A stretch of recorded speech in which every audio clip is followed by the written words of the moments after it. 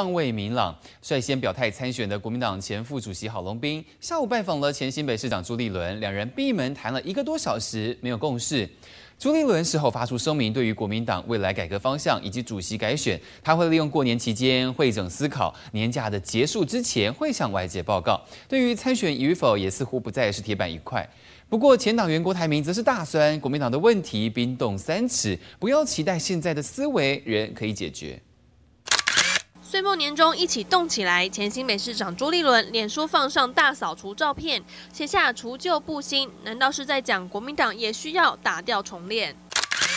朱立伦发出声明，强调这几天和不同世代的朋友见面，共同关心国民党未来的改造。他会利用年假期间会诊思考，对于改革方向以及党主席改选，年假结束前会给大家完整报告。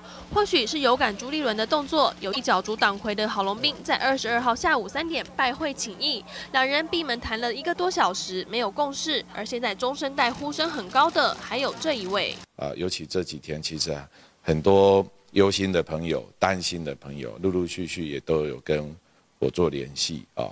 那至于我自己本身，在这个改革的过程当中，应该放在什么位置，我也会认真思考。国民党大选溃败，前主席吴敦义和一级主管总辞之后，党内掀起改革声浪，但前党员郭台铭先泼冷水。他们的标准是六十岁，我就排除在外。国民党的问题是冰冻三尺是觉得说不要期望。